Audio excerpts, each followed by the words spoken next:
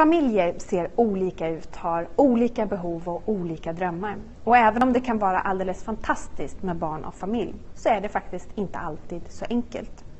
En del kämpar med att få pengarna att räcka ända till slutet av månaden. Andra kämpar för att få tiden att räcka till och att kunna få tid för varandra.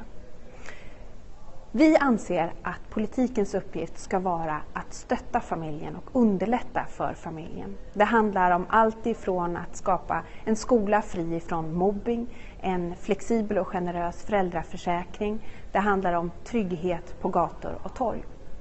Vi har också presenterat ett förslag om att alla arbetande familjer ska kunna få en skattesänkning på 1000 kronor i månaden.